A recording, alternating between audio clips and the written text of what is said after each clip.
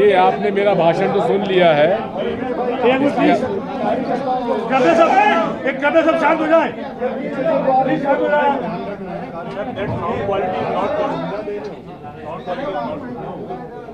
चलिए हाँ? बताइए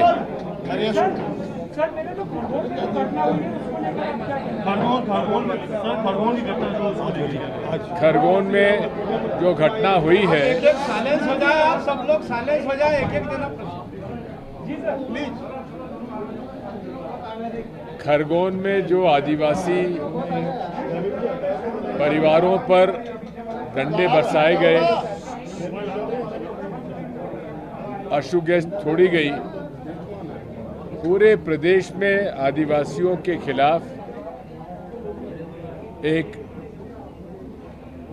ऐसा माहौल बनाया जा रहा है, डराने का, धमकाने का,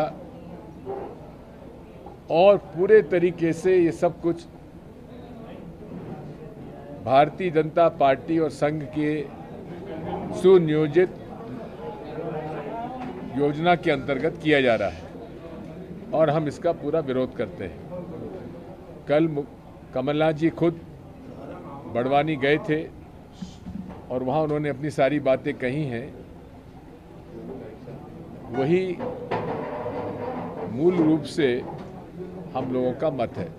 सर जावेद अख्तर साहब ने तालिबान जावेद अख्तर साहब इस देश के एक प्रतिष्ठित विचारक हैं।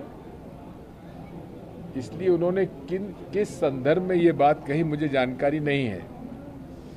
लेकिन इस देश में संविधान हमें अपने विचारों को अभिव्यक्त करने की स्वतंत्रता उसने दी हुई है और वो उनका हक है।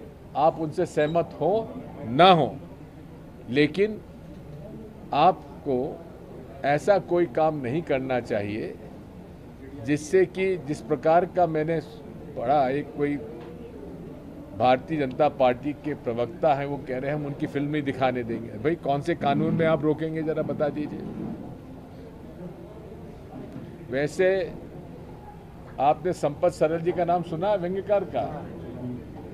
उन्होंने बड़ी अच्छे तरीके से परिभाषित किया है तालिबान को। एक इक्वेशन दिया है, राजनीति प्लस धर्म is equal to Taliban. Sir MBBS के फाउंडेशन कोर्स में हेडगेवार जो आइकॉन थे उनकी जीवनी और सिद्धांत पढ़ाने का प्रस्ताव मध्य प्रदेश में। ऐसा है शायद डॉक्टर्स को मेडिकल बुक्स की आवश्यकता नहीं दिख रही है।